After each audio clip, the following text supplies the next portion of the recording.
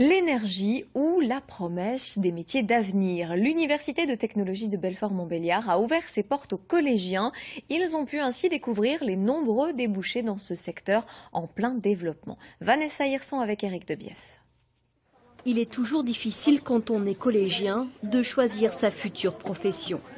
Pour les aider, l'UTBM propose de découvrir la filière de l'énergie et ses métiers grâce à une journée découverte au sein même de leur laboratoire.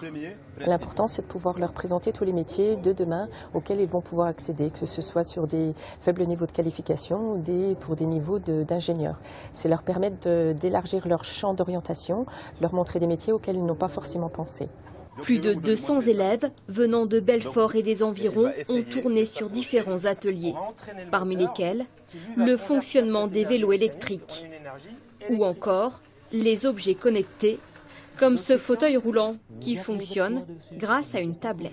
Ça, c'est votre point mort. Pour avancer, il faut aller vers le haut, tourner à droite, tourner à gauche. J'ai vu qu'on pouvait euh, innover des choses euh, simples comme les fauteuils roulants. On peut les contrôler avec une tablette. On a découvert euh, le principe des éoliennes, de l'électricité, des trains, tout. Franchement, c'était une super journée. Un échange entre élèves et ingénieurs qui sert aussi à l'UTBM, car l'université de technologie peine à attirer les filles.